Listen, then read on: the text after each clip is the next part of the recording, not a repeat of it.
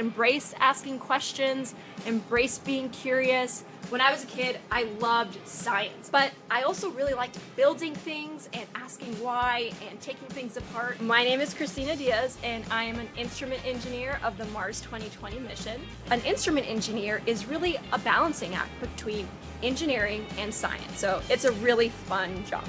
Here we're at the NASA Jet Propulsion Laboratory over in Pasadena, California. One of the things that we do here is robotic space exploration. Maggie is a test bed robot for Curiosity. Whenever we want to try something on Mars for the first time, we use Maggie to figure out how is the rover going to react on Mars. Welcome to the Mars Yard, This is the smart Mars Yard. girls. This here, it's covered right now, but we were actually doing some tests with Maggie. We have a fantastic set of female engineers on Mars 2020. JPL is filled with smart girls, so don't give up hope and really follow your passions and dreams.